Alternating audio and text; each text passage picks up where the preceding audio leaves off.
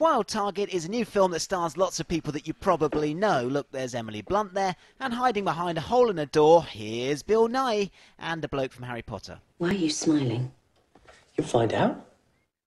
Well, maybe he's smiling because he's starring in the latest low budget British comedy, which is hmm, actually based on an old French film called Cible ou Mouvant, or something like that. You see, my French is pretty terrible, and so is Ron Weasley's. Good to see you. Yeah, This this is a remake of a French film, so I thought we could do the interview in, in French.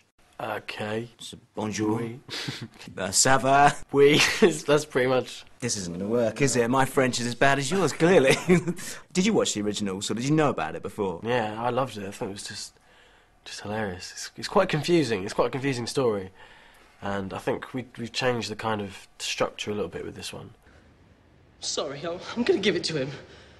He's got a tie on. The film follows an uptight assassin who ends up falling in love with one of his intended victims. That means 60 year old Nighy gets to share some love scenes with Blunt, who's only 27. Are you serious? She finds it incredibly amusing, the idea that she, I should be in any way romantically linked with her. She finds it physically distressing, uh, but she was a sport. You, on the other hand, were willing to go with it. But I was kind of ready to rock, yeah.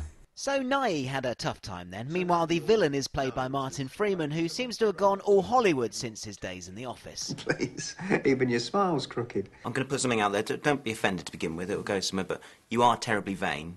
Yes, In the this film?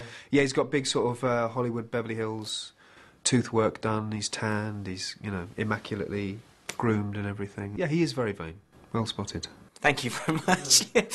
That's good. good. No, but I think that is good rather than people just thinking, has Martin gone mental? Why is he doing that? Of course, you go away. This is your art and craft making movies. And what are people talking about on the internet? Whether you've got facial hair or not. Really? yeah. Was that do an have important a- part of it for you? Did you go, do I kind of have stubble, a bit of a beard? Oh yeah, there was there was a lot of uh, meetings. You haven't quite gone the full uh, moustache. No, that Bill gets to no, Bill actually grew that. Really? Yeah, I was quite impressed. It was all mine. Somebody asked me, "Was that your moustache?" And I, I was quite, I was quite offended. And you find bits of No, food? you don't. How dare you? You probably have someone who sort of I've takes got it a out for you. moustache cleaner person. So if you like facial hair in your films, then Wild Target might just be a hit. Oh! Oh! Steve Hargrave, Sky News.